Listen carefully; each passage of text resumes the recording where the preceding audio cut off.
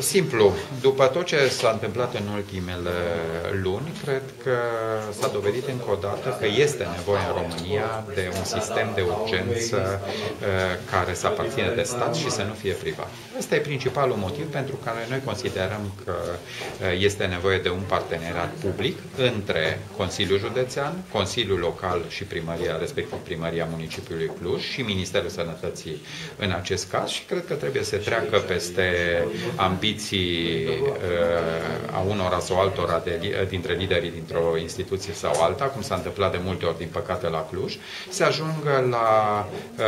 finalizarea unor proiecte în parteneriat între Consiliul Județean și Primăria Municipiului Cluj, asta fiind una dintre marile probleme din uh, ultimii ani de la nivelul administrației uh, locale. Care